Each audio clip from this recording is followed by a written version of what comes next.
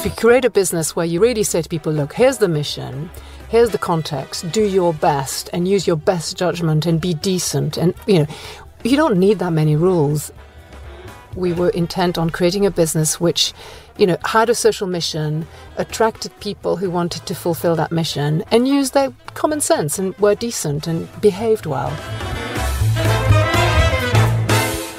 How do some of the world's sharpest minds start their day?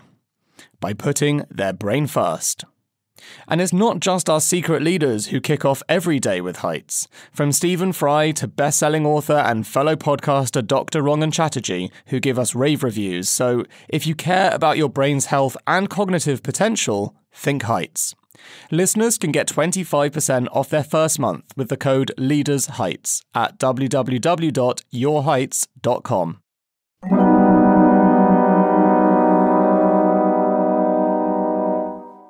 From a business desk at the Birmingham Post to the Congo to the world's fastest growing tech for good platform. Belgium born Anne Marie Huby is one of the UK's most innovative entrepreneurs, bringing the first online fundraising platform to these shores in 2000. This was after a career in radio journalism in Belgium and two years freelance journalism in the UK. She then went to set up the UK arm of Doctors Without Borders, also known as Médecins Sans Frontières, or MSF, for 10 years.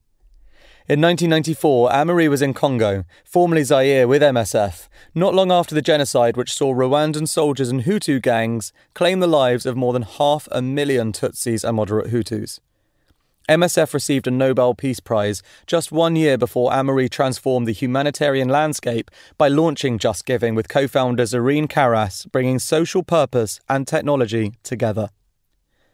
In many ways, it gave rise to a new breed of philanthropy.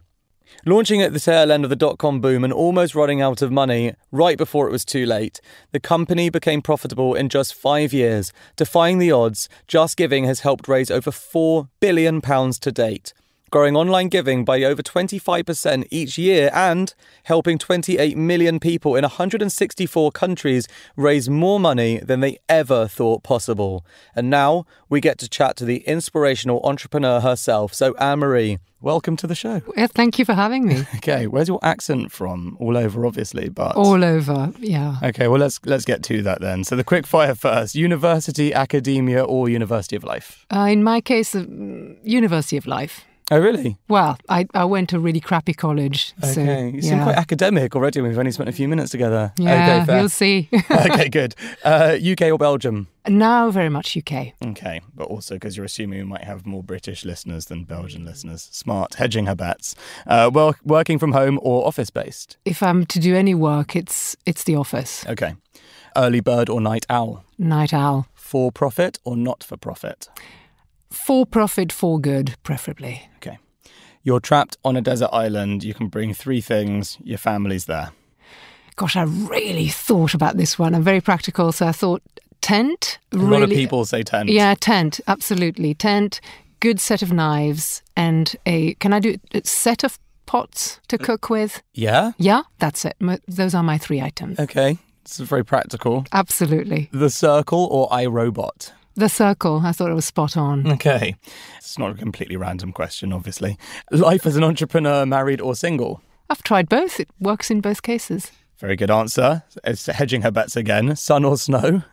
That's a really hard one. On if pressed, the sun. Okay. Well, you are pressed, so because it's an either or. So sun it is. Introvert or extrovert or bit of both? Introvert. Okay. Most inspirational person in the world to you? Impossible. Too many to quote. But we'll. I'm sure We'll get come to that. Okay. Yeah. Entrepreneur, techie, wife or mother? Do you ask that question of boys too? Yeah. Yeah. Yeah, yeah. In that case, um, I think Well, probably boys, mum men first. tend to be. yeah, mum first in the final analysis. okay. Techie, I no. I feel a bit of I feel a bit of a fraud. Okay. An entrepreneur. Well, I'll tell you more about that. Okay. The men are always in, in fear, so they always just go husband and then they just move on to the next question.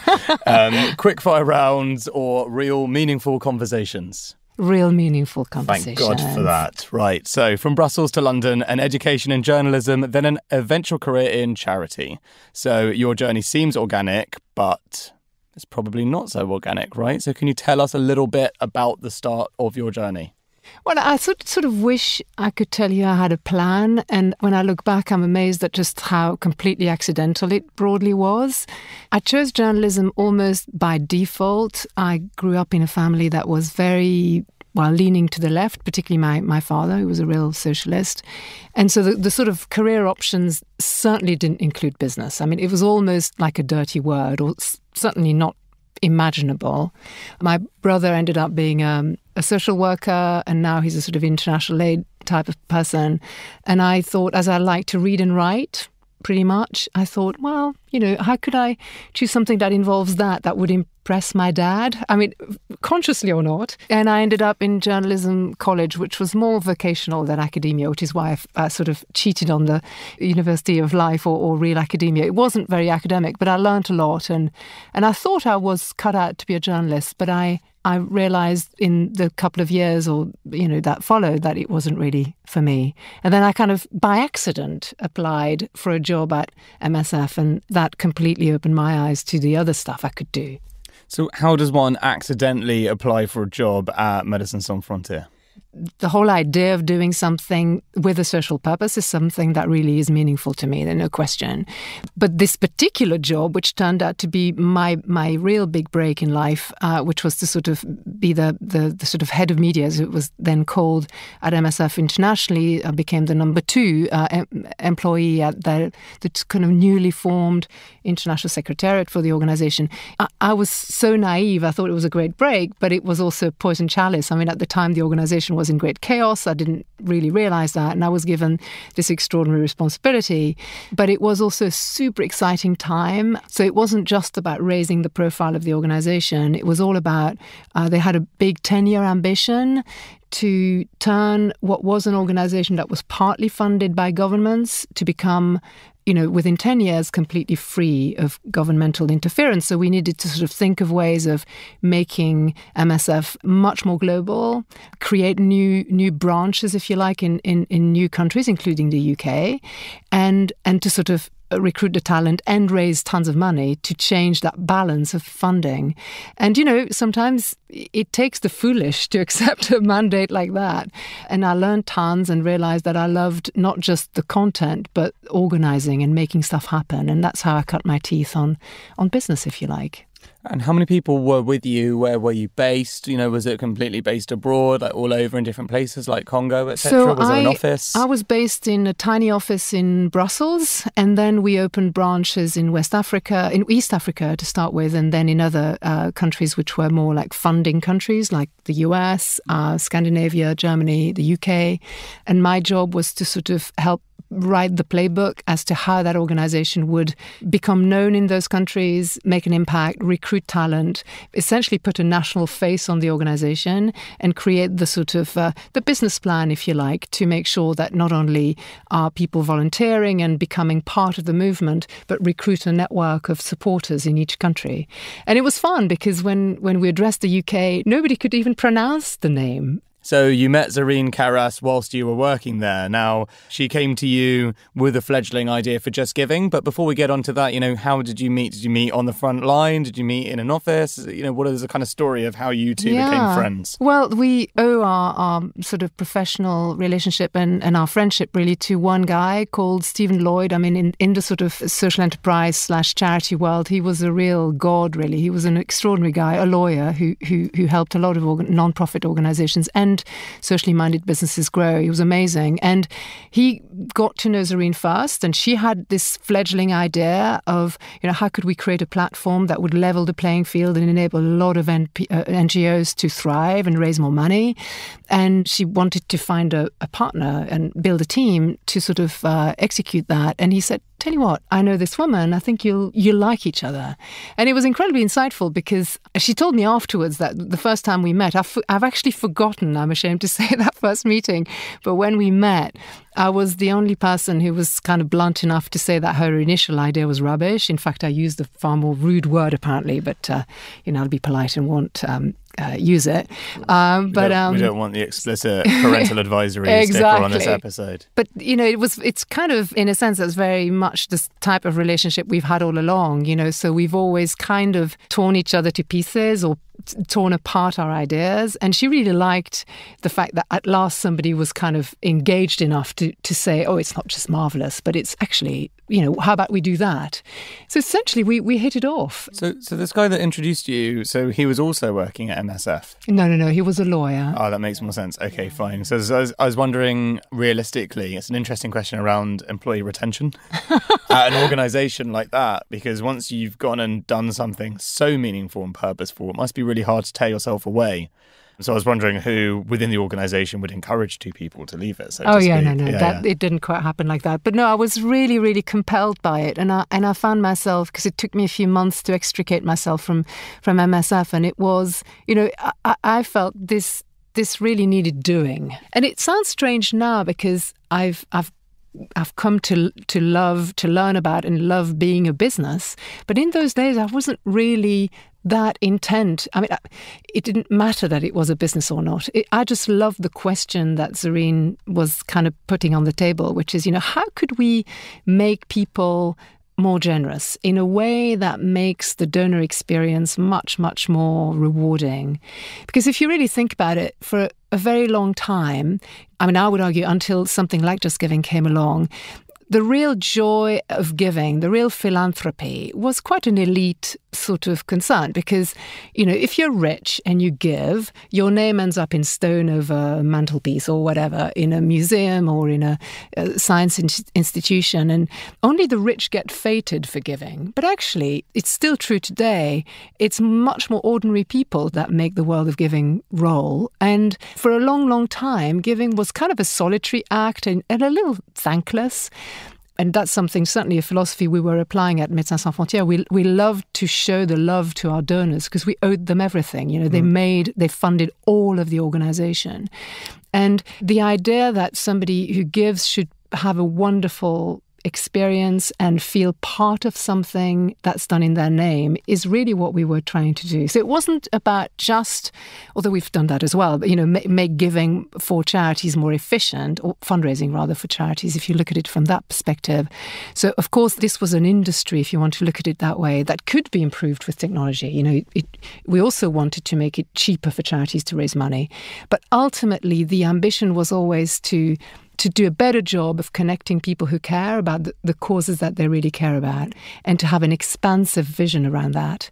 You know, and I hadn't really met someone who had that sort of idea before and I thought that blew me away. That was worth leaving an amazing charity to join. I've only just started working with a charity, like properly, I mean. And so two statements that have been said to me from very experienced people, you know, the CEOs and chairman of a charity that's been running so they understand what they're doing, that I thought I'd share with you because you'll probably, one is absolutely validating what you already know, but one of them is that the person who gives the check is every bit as important as the person who spends it, which of course is bang on the money for your philosophy. Mm. And the other is I got schooled for a few hours on why uh, for profit philanthropy is so much more efficient than not for profit philanthropy. And it was incredibly eye opening because, as a, a, lefty liberal who's uneducated on such matters until you go and join a charity and try and understand mm. what is involved in it all, you can't really understand how that would possibly be the case. So I thought, as we have an expert in the room, it'd be super interesting to get your perspectives on both those statements. Yeah. I mean, I don't know that, that I fully understand the definition of, of, for profit philanthropy, but if, if or I. For profit charity. I mean, yeah, yeah, yeah. I mean, I think, particularly in Britain, oddly, there is a sort of a very hard distinction in most people's minds between business and charity. So, on the one hand, you know, people really understand business exists purely to enrich shareholders, and and it's almost like a comforting thought. You know, we accept that business in the main can be quite rapacious and entirely self-serving, and on the other hand, you have this sort of almost romantic idea of charity: people being paid very little, doing things for free, being almost almost virtuously poor.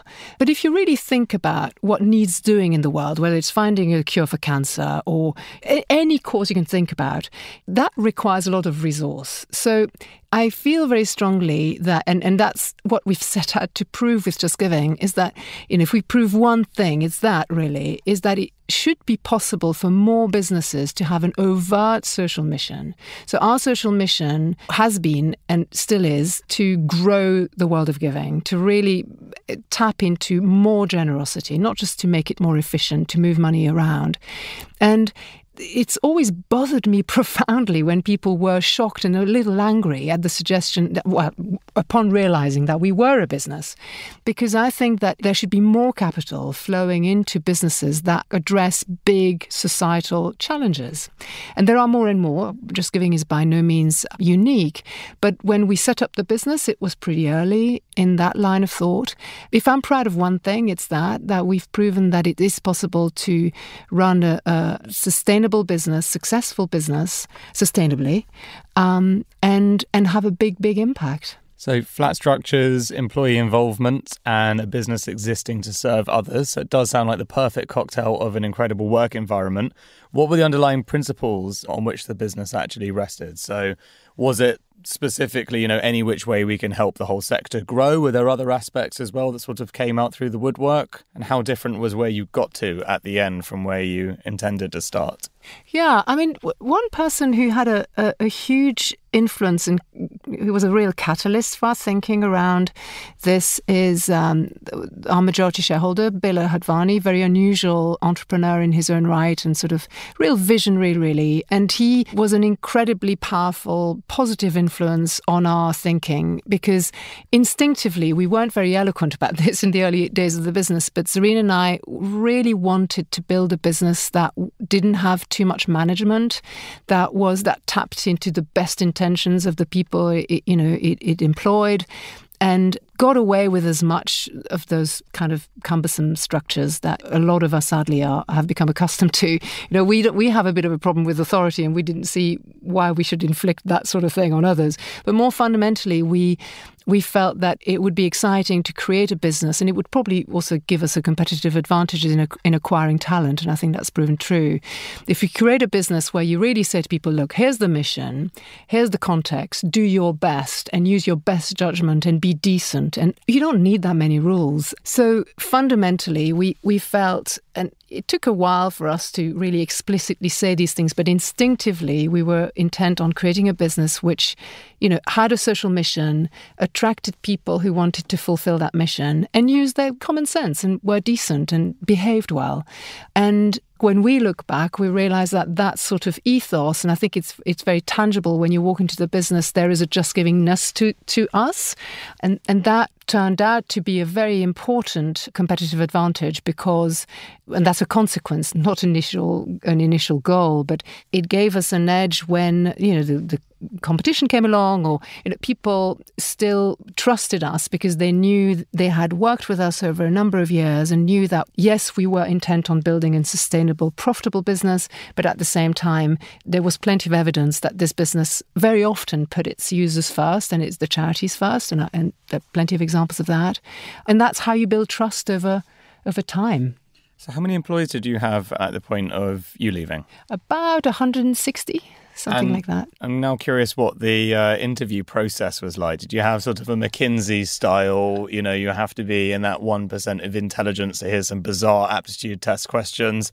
and then beyond that, it was all just values based because the structure you're suggesting mm-hmm. gives a lot of freedom to people, which is incredible. But to do that, then you must have had to have a very, very, very rigorous interview process to make sure you're getting it right. Or did you have a hire fast, fire faster kind of mentality? No, we took. I mean, inevitably at times you you have to let go of people, but we worked very hard over the years to I wouldn't say perfect, but certainly evolve our, our hiring approach. We, we, we do favour people with smarts, there's no question about that. But we also often hired slightly counterintuitively or people who were ostensibly of a particular discipline who we could attract to another. We tended to favour one of our head of people, Andy Meikle, called them Mohicans. You know, people who wouldn't necessarily fit elsewhere often thrived in, in, in JustGiving because we were giving, uh, I say were because I'm no longer there every day and I, you know, I can't vouch for the present. But for many years, we paid perhaps more attention than businesses of uh, other businesses of our size to the whole culture and and creating a place where people would feel fulfilled, challenged, and respected. So I guess one of the uh, obvious points of running a for profit company that's growing really fast as well is you can afford to be competitive. So you can afford to have the best people on the best salaries, etc., because it's a competitive environment getting those people. But if you have a meaningful mission, that's quite often one of the main reasons that gets explained to me as to why running for profit charitable businesses is so important. So you can attract the best talent and make sure they're doing good for you and therefore for yes, I think I think having a sustainable business model trumps relying on handouts. I mean, particularly for an infrastructure heavy business. I mean, arguably, and we've discussed this over our, with our users and our charities over many years, because we regularly were asked, you know, why did you choose to be a business and not a, a non for profit? Is that when you look at the level of investment, sustained investment, millions of pounds went into this business for many years. And we need, as you've just said, we needed to attract the best of technology talent, not just you know your average techie. We needed to really punch above our weight because we were doing very ambitious things. You know, technologists, product people, marketeers, data scientists in in the later years. So in order to compete, we needed to have the ability to attract that talent, and to achieve that, we needed to be a sustainable business. So, so I, I feel very strongly about that concept that it should be possible for more businesses to be successful on a commercial basis and have a big social impact at once. And on the subject of becoming sustainable, what about raising money? How did you go about? You mentioned one of your investors previously. So, what was your fundraising story? And obviously, you have two fundraising stories one with your users fundraising for charities, but your own one to sustain the business and get, I guess, VC return. What's the story there? We have a very unusual fundraising story. We raised some angel money in the very, very early days, obviously. And then we had a major a second round, a proper second round in 2001 2, thereabouts. And that was actually our final round. You know, looking back, if you re- rewrote history, you, you could argue perhaps this business should have raised more money and grown faster, perhaps done different things more rapidly. I mean, hindsight is always perfect, but on balance, I think we were given a, a major injection of cash at that time, which enabled us to hire and uh, and grow. Was that but, from venture capital? no, it wasn't. It was an angel, and in, oh, an yes, angel. yes. Okay. Um, but but the I should talk perhaps a little bit more about the, the the philosophy of that particular individual. The fact that he took an incredibly long term view of the business really encouraged us to to try new things. Very leading edge at the time. I mean, he's he encouraged the our vision to really think about the wealth of data we were creating and and, and new ways of uh, really interrogating that data, which with hindsight was incredibly visionary. So in a sense, he was talking about data science years years before that, that term became common parlance. I mean, there are challenges in, in every corporate story, but I credit that influence and that very benevolent, patient, long term view of the business for having enabled JustGiving to thrive. I think a really interesting similarity that you have in this point of view is one of our guests was Ali Parsa from Babylon Health. Mm. And he's not a fan of VC funding in any kind of respect, but you can listen to his episode for his details of it. But the really interesting thing in terms of how he went to fund Babylon, his whole point was I want to build a really big, meaningful business, and I know what that looks like. And there is no VC that can support and finance and genuinely believe in and align itself with a meaningful business because I need a 10 year plan. Mm. And it's what you've just said, which is that 10 year plan. And his whole thing is I went straight to investors saying everything's going to change in every two years. So you can't basically be a VC because you'll be worrying about the next stage, the next stage. I need money for 10 years. This is what we can execute if we're focused on it. And it sounds really similar. That's right. I, I think that the, the, long term, it, it's also, you know, taking a long term view is also very, very bold and risky. Our, our, our majority shareholder, Bela Hatvany, was incredibly supportive of our vision and took a very long term view, but that's partly, I think because he grew up professionally in the United States and the UK VC and certainly PE scene here is is is very different. I think everyone who's had exposure to both can see the differences. Yeah. AKA, the bigger and crazier the idea, the more likely you are to get it funded in America, and also, therefore, becomes an upward cycle of the more likely it is to actually have a chance of succeeding. Where did you actually meet this investor then? We were in an incubator in Soho in the very early days, and one of our colleagues who were incubating us um, came across him and said that he probably knew somebody who was crazy enough to support this particular business, and it turned out to be right. That is the best kind of way. So, I mean, what was? Do you remember what your first pitch was to him, or anything like that? Have you ever reminisced about how super unusual? It was Zarine did most of the heavy lifting, which involved walking for hours around Holland Park and Kensington Gardens talking about life. it turned out that Bela's form of due diligence was to judge people's character um, over over their business plans. Yeah, that's a great way of doing it, though. And you only so you only ever had one person on your cap table. Oh no, no, no. We, no, okay. we have a we have a range of investors, yes. Sure. But but he's he's he was definitely the, the largest, yeah. Okay, and he must have been very happy with the outcome after all of that. To be fair, so in so early as well.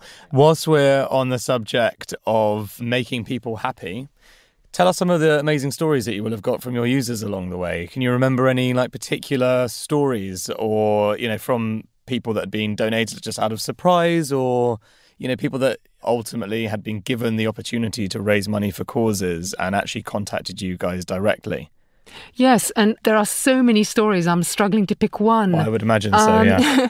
what's really lovely is when someone starts small and intends to raise a thousand pounds and ends up raising an absolute fortune. That that's remarkable. I mean, and there have been in the last few years, whether it was a dog's home in the north of England burning down, raising hundreds of thousands, to more tragically Manchester, London bombings, etc.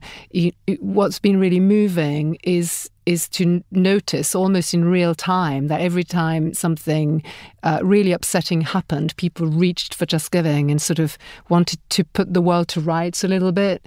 And everyone knows that money doesn't solve everything, but it's been incredibly gratifying to see people come together and express often their solidarity and the, just their love really by raising tons of money. And and every year we we run an awards ceremony and every year uh, the very best of the best of just giving comes together in a room and we celebrate. And it's incredibly humbling. I mean because you know as i said at the start of this it used to be the preserve of the very of an elite group to be recognized and really celebrated for what they did for their community. And i'm really it's very touching actually to see loads of people. And i mean and as i said in in that room it's just the best of the best but there are thousands every day you know who sort of do this, the same. And there's a, such a deep sense of satisfaction that you knew there was something wrong in your community or somebody needed your help and you were able to not only help yourself but bring your network with you and people are often often say the most touching things to you and in writing and you know you get countless of emails all the time where people say that really is the highlight of my year decade life whatever and so it's really incredibly meaningful for people Hey guys, this is Luke here, co founder of Kontor Space. Sorry to interrupt this awesome podcast, but I just wanted to tell you a bit more about us. We're a startup ourselves, helping awesome companies find amazing office spaces from start to finish, whether you're looking for a couple of desks to your next big HQ. We take care of the whole process from start to finish, and our service is completely free. Check us out on kontor.space. Okay, so you've started a career in journalism, moved over to uh, like an incredible organization like uh, Médecins Sans Frontières, and then created one of the most meaningful organizations of modern times. So, the question is, what on earth do you do next? How do you encore that? Are you as a human being, and this is going to get much more deep into you as a person now, that's an unbelievable trajectory of really interesting and exponentially more meaningful and purposeful activities. So, where do you go from there, or do you not torture yourself with that kind of stuff? Impossible not to torture yourself, right? I mean, At the moment, I'm practicing the pause, right? So, which is to sort of take stock and uh, catch up really with all the, the the stuff that's been going on as I feel has been going on as I was busy looking elsewhere, which was JustGiving. I mean, I'm sure everyone who's at this table talking to you on this podcast talks about a complete obsession. I mean, it's impossible to run something you love and not become totally monomaniacal about it, right? And then, as I am now, in between things, or certainly post just giving, as I sort of step down imminently, I feel that I actually need to look up and sort of take stock and look at what's been happening in the wider world. And there's just so much. And as a parent, for example, one of the things that I'm really struck by right now as I look for, you know, wh- where are the spaces I'd like to possibly get involved. One of them is education. I'm, I'm getting involved with the One Ed Tech business. And because I'm struck by a little bit as I did when I was looking at the world of giving uh, 18 years ago, I think, gosh, it hasn't changed. You know, this whole world of how children, and not not to mention adults, but that's even a, a bigger issue. But children are taught and are corralled and marshaled in, through education in a way that hasn't fundamentally changed for decades, generations. Yes, okay, the, the, the, the whiteboards are now white and not black, but I mean, fundamentally, it's incredibly straitjacketed. And so I think, and um, this is really not a, a, an original thought, but the that's potentially something I would love to get involved in. You know, how can we completely personalize the experience? How can we make learning something that is so much more rewarding? So that certainly will be will be an area. Have you seen many of Ken Robinson's talks? They're they're always about that. They're just so poignant because the stories he tells are so simple and yet so obvious. And there's that famous one about that dancer who was just crap at school but became this world class dancer and was just you know the best paid dancer and choreographer in the world. So had an incredible career, but was disencouraged from doing any of it as a kid because it wasn't academic. That's right. And it's like examples of that everywhere. So if you could obviously personalize education, you know, how much more successful could the human race be? That's right. Flip I mean, side and, to that is how it might not even be a good thing to make everyone too expert in the human race, because obviously the flip side is seem to be exponentially improving every aspect of human intelligence at the moment. Do you, do you, look at things like AI? Of course. And and the big question, I'm not a technologist, so I, I think about, you know, the things around it. How can we better equip our, our kids and ourselves, of course. But at the moment, as I have more time to spend with my family, I think a great deal about how can I help my son who's in his early teens? How do I encourage him to be relevant and to be engaged and to learn in the right way. Those are the things that I'm wrestling with right now. Because the synthesis, or what is the expression again about the moment when intelligence become all uh, artificial intelligence is is entirely autonomous? We have a way to go. I mean, the, we can all bet that it will take a while. So, what's the human relevance between now and then? And there's tons to play for. I mean, using Moore's law, there's not that long, so we might need you to think faster. All right, okay. just in case.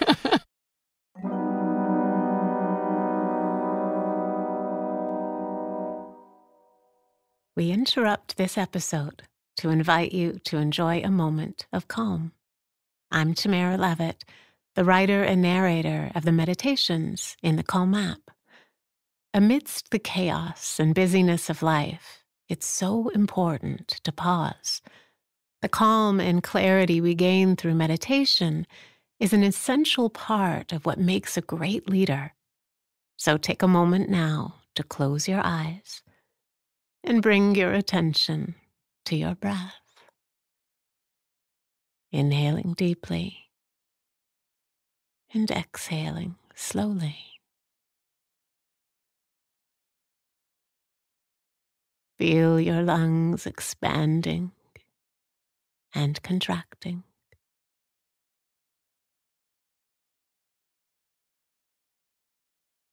And as you take this next breath, feel your whole body relax.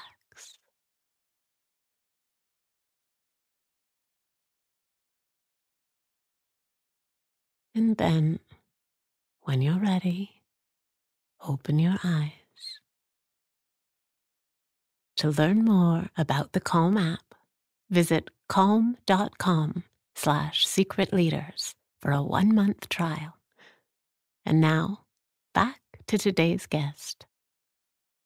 So, just in terms of, you know, how you're spending your days. So, to be boring for now, what does a typical day look like for Anne Marie, but potentially a bit more exciting, what did it look like back in the day? So let's go right to the heart of when things were just growing really fast. What did a typical day look like then?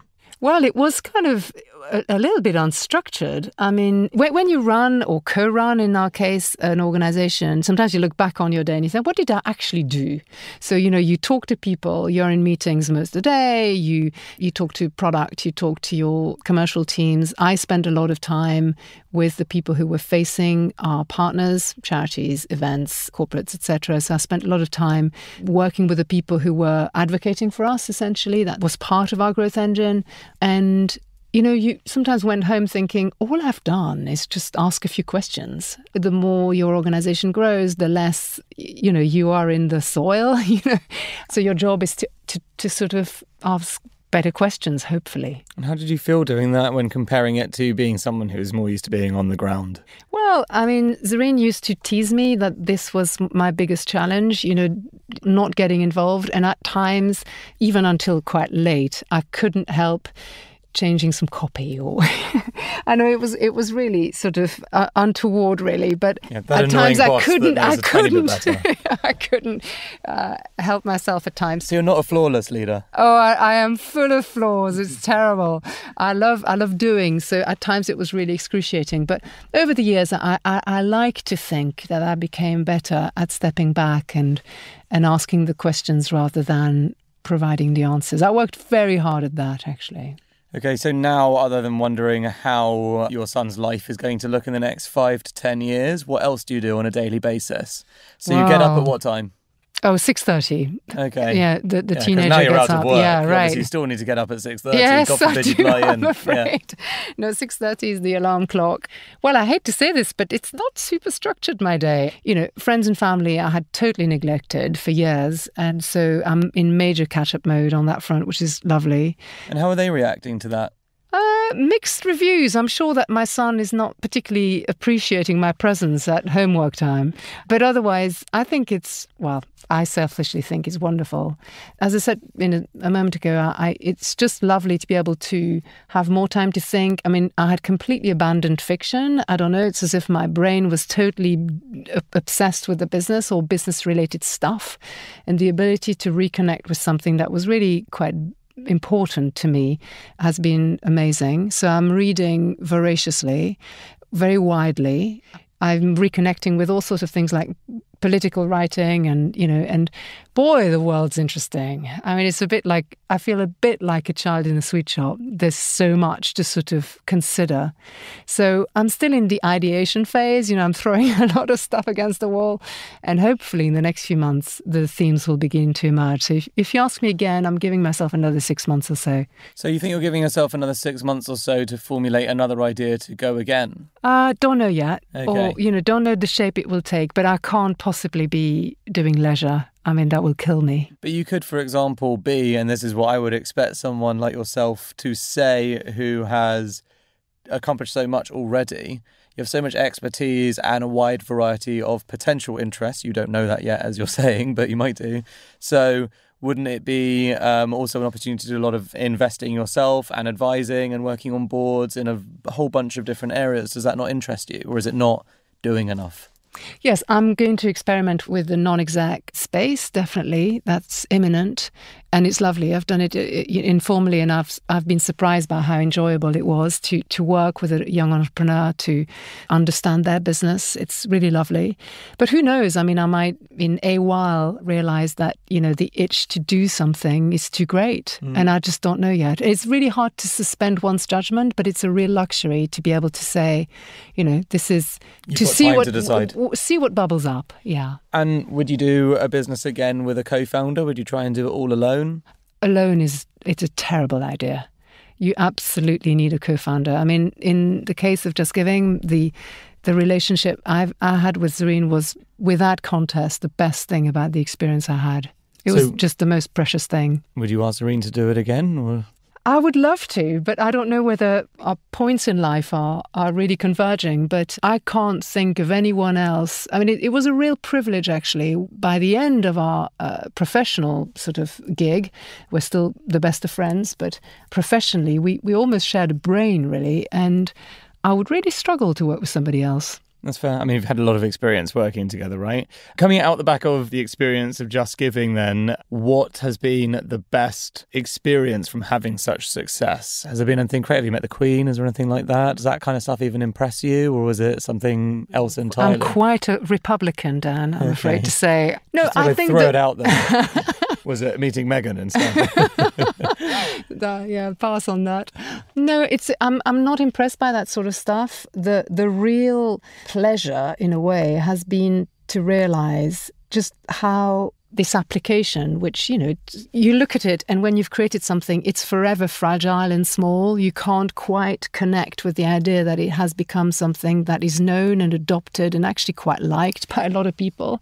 But it's it's those moments when you realize it's become almost a noun. You know, uh, a few years ago, there was a Jeremy Hardy sketch on radio and I was washing the dishes and and he cracked a JustGiving joke and everybody in the audience got it and that really stopped me in my tracks I just thought oh my god they really get it, yeah. you know, and that was lovely. And as I said before, it's just meeting users who consider this experience, raising money, helping others achieve something really tangible, and really cherishing that as an important expression of themselves. That's really quite touching. And throughout the whole life of the business, I've always been almost awed by the amount of trust that people place in this platform. It's just it's just so fascinating to think about the culture inside your company because you would have had so many sombering moments every minute if you were to obviously have the time to look at all the messages. Because I mean, I can't actually think of even an edge case where you raise money for a cause that isn't based around some kind of sadness in some respect. Yeah, yeah. Is, are there any?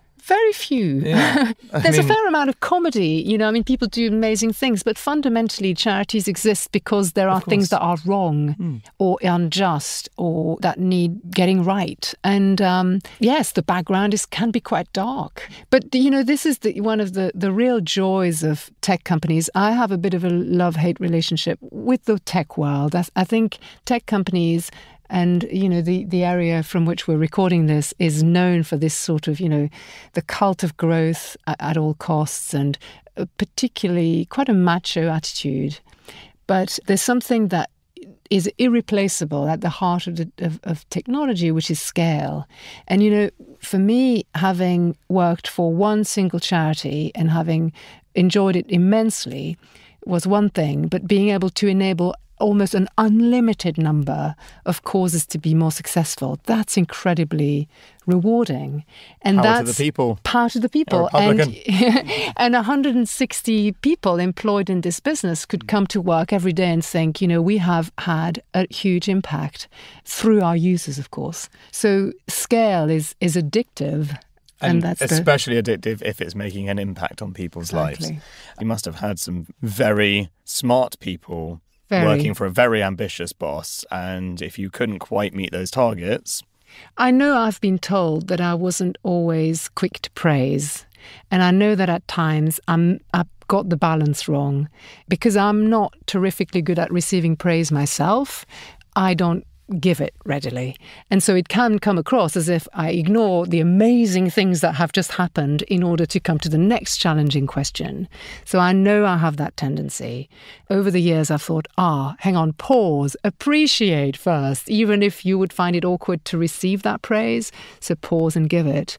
When when I was beginning to say my goodbyes to, to the business, people said very, very interesting things about you know, then they were free to say them. and it's interesting how people perceive you. And it is a little bit, you know, on the one hand, people said, you know, it was really annoying to be questioned all the time, but it was also what made the culture. So, you know, I was a, I'm sure, a deeply imperfect boss. As is everyone. Yeah. Okay, well, a deeply imperfect boss, but a perfect mother, as I'm sure your son would say. How would he describe you? Well, he would definitely call me bossy. Okay, what about your daughter instead then? Probably The the, same. same. I mean, Okay. she's much older. But yeah, I mean, I, I try to. I suppose you can't change your stripes, right? So we like to inquire, and I like to ask tough questions at work, and I like to be also at the receiving end of those questions, and I like that my kids can be as challenging to me as I can be to them. Okay, I, I know you said it's a difficult one to answer, but in the context of, I guess, the here and now, who inspires you? So, obviously, really broad, impossible to say, but in the context of what you might be interested to do next, you said you're reading a lot. So, where's your inspiration coming from? If it's a couple of people, then that's fine too. Yeah, there's lots. It's funny. I realized as I was looking at various businesses and models and what's what's out there that's interesting. I was struck by how little I was drawn to the tech world, and maybe I'm, you know, you could point me in the direction of cool stuff happening in that space, but in general, I have found that the tech world has been relatively slow at developing a sort of peripheral vision about the impact it has on the world. And I think it's obvious from the, the, the latest developments from Facebook to Google to now the Amazon sort of local tax scandal in Seattle, right? Not scandal, but sort of kerfuffle. I think for an industry that's supposedly addicted to change and really at ease with it and constant disruption, it looks very incensed when it, it is challenged by society. And in contrast, I find that it's rather bricks and mortar companies that have done some deep thinking or deeper thinking about its impact on the world and how it should relate to that and how it should behave. And, you know, uh, it's an obvious example, but you look at Patagonia, the sort of outdoor gear company, and it's doing incredible things. It, it's being generous in the true sense of the word. I find that inspiring. So, to your point on growth, because I've read and listened to a lot from him. And you know the the true nature of why that is even possible and the case is because and this is also his argument if you want to build a sustainable company you don't go for growth. So he didn't right? As in he wasn't building a company to build a company. He was building Patagonia because he loved it and it just happened to have to grow and people got brought into their social impact. So then the growth becomes a necessity so to speak um, oh, it's an outcome. it's an outcome Yes. precisely. So that's a really nice way of framing it. But again, that's what happens when you get, I think, very mission-led people starting businesses. It's it's, it's an interesting one though because you mentioned Facebook as an example, and I was having this debate with someone recently. But actually, there is no legislation to suggest that what Facebook did was wrong. So in many ways, they are holding themselves to account and being a self-regulating company, which is progressive and I'm not supporting them, you know, in this sense. In fact, I'm on the other side on a personal level, but taking an even point of view. It's quite fascinating to know that they've, they've done nothing legally wrong, yet they're willing to sit there in front of a Senate and discuss ways to improve these things. That is progress in some respects, because there's a lot of companies that, if they were outside, in, within the realms of law, wouldn't be willing to hold themselves to account that way. So I think that's quite encouraging in some respects. Yes, you could you could say that, but I mean the the law is is a lagging thing. it it follows the zeitgeist and the, the, the views of the people. It doesn't tend to lead it. So I think it's a little bit like MPs. If you put a moral filter on this question, when the expenses scandal broke in the UK a few years back, a lot of MPs hadn't broken the law but they had broken the social contract that you and I would recognize as being in force between people and the people who represent them in parliament. And I think a lot of companies say, but we're not doing anything illegal. Fine. But that is completely missing the point. So I, I think it's an exciting time because it, there's absolutely no debate now that companies can't just exist to serve shareholder interests. They have to. It's a matter of survival. They have to consider a much broader set of factors and to really ask themselves, you know, with all this power, outsized, unprecedented power, you know, what is our responsibility?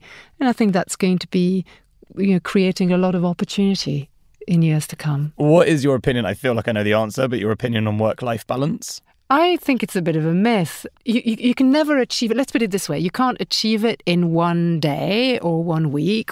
I felt guilty as as the next parent, as any parent would have been when I was working super intensely for the business. But I sort of knew that my family knew that one day that would abate and I would be more available.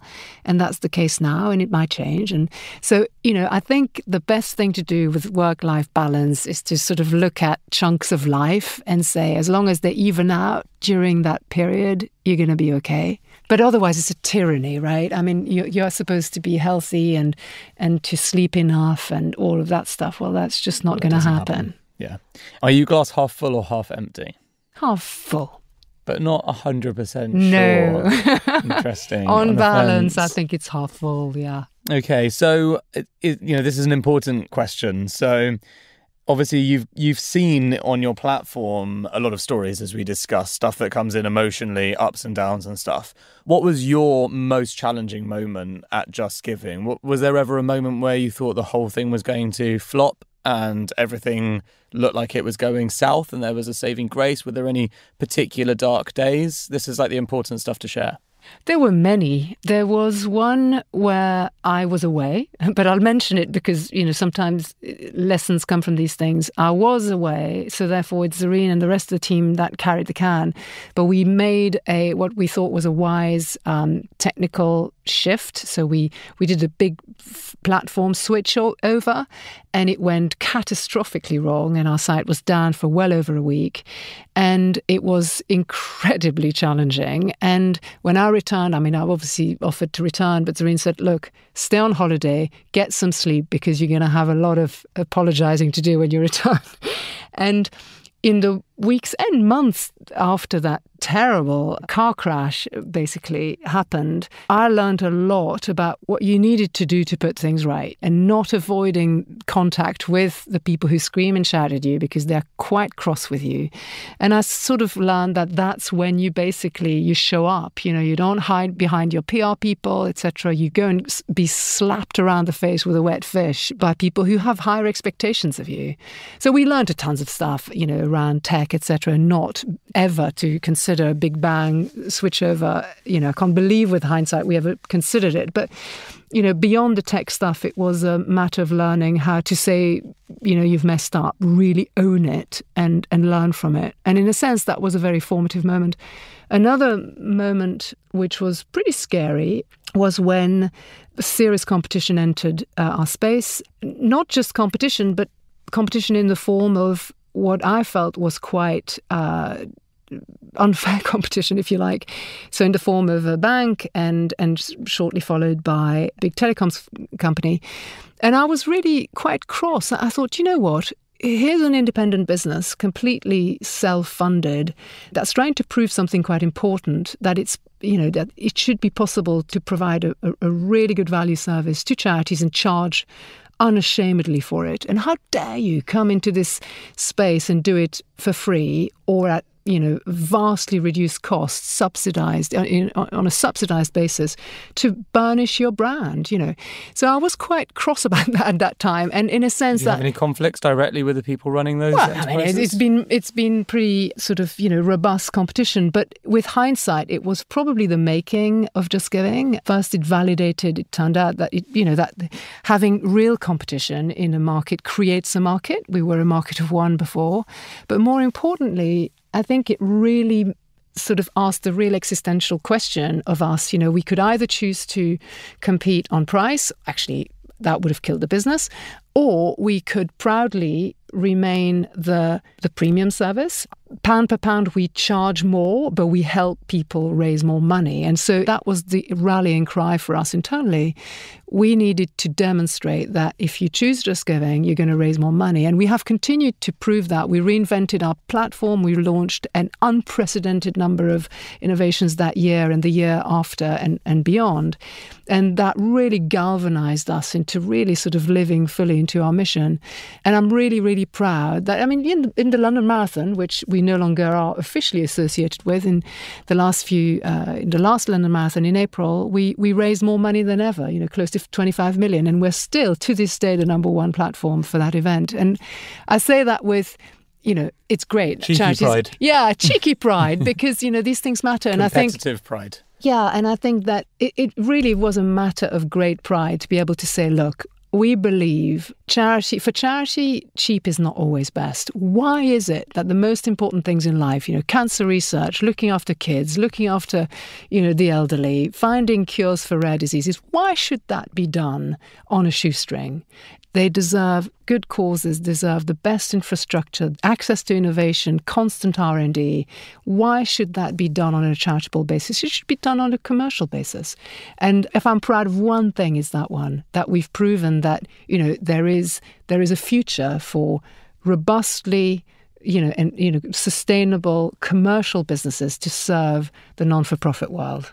And so, before we wrap up, because that would have been a perfect way to end, but of course, being the awkward person I am, I have just two more questions. Best piece of advice you've ever been given by someone along your journey? By my dad to always, always not be afraid to hang out with people who are clearly smarter than me. I thought that was a very good piece of advice because the temptation. as a young person. Yeah. yeah. Yeah, he said you're gonna you're gonna hang out with if you're gonna go anywhere, you're gonna hang out with people who are you're gonna be scarily brighter or more, you know, more polished mm. and, and smarter than you. Just choose them. Okay, and then your you can't copy your dad's advice. So for listeners, your advice to anyone listening now and feeling inspired by your words. No pressure, of course. Do you know the thing that I I wish I'd known it was okay for a tech business to persist because there is really staying the problem because there is a real addiction to the idea of the pivot. You know, if you don't show quick revenue, quick traction, quick this or this or that, your investors are immediately on your back to say, all right, in that case, just pivot. In fact, some of the greatest strategic bets we made in this business, I don't know whether it's true of others, but this business, were those that took quite some time to prove traction.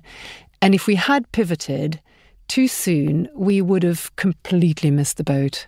And so patience. Patience is powerful. Patience is powerful. Beautiful. Okay. Thank you very much for your time, Anne Marie. It's been a pleasure. Pleasure. Thank you. Next week on Secret Leaders. When you love something, it's not work anymore. So if you're working 12 hours or 18 hours, you're working yourself, you know, to the bone. That is where stress and everything else kicks in. But when you love what you do, then you never work a single day in your life. Live in the now. The now is all that you have. Tomorrow is a dream. Yesterday is already gone. The only control you have over your life, over everything that you do, is in now. That was Vijay Eswaran, the Malaysian billionaire and philanthropist who, after getting kicked out of university in Singapore, is sent to London by his parents to study and consequently started his career, if you can believe it, driving a London black taxi. If you want to know how that story unfolds, then tune in or you'll miss out. Don't miss an episode by subscribing to us on iTunes or Spotify. Just search for Secret Leaders. You can also check out our website at secretleaders.com for show notes and behind the scenes of each interview. Hi, I'm Simon LaFosse, the founder of LaFosse Associates. We're a young, high growth and co owned business, and we're experts in attracting talent. If you want to build a great team or you just want advice, please get in touch. We run free seminars and we'd love to see you there. Thanks for your time. This episode was hosted by Dan Murray, produced by me, Rich Martell, edited by Harry Morton at Lower Street Media, and if you're hearing this, that's probably thanks to Jennifer Osman, our marketing whiz from Canada.